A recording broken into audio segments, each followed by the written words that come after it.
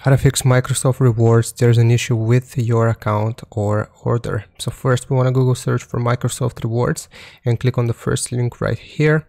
Make sure you have logged in from the right hand side and then you can select this option to start earning.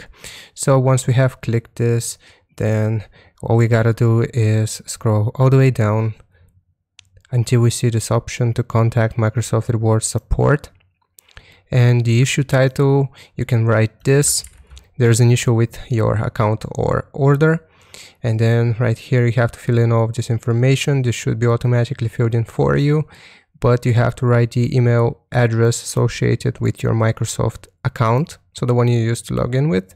What would you like assistance with? If we click on this it will give us a drop down menu so we can see, or we have to select account and profile and then we have to select right here general question. If it's not the correct one they can refer your or transfer your email to the correct department.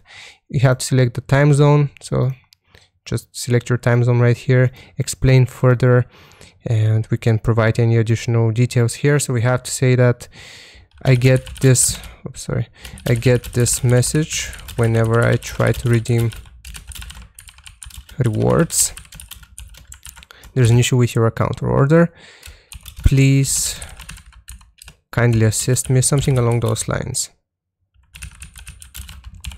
and then you can submit this and they will get back to you around 24 hours from sending this email. It could be faster, it could be slower, it really depends on how many emails they have received. So they should guide you and tell you if there's anything wrong with your account or why you might be getting this issue, this error. So hope this video helps, leave a like and sub, I'll see you next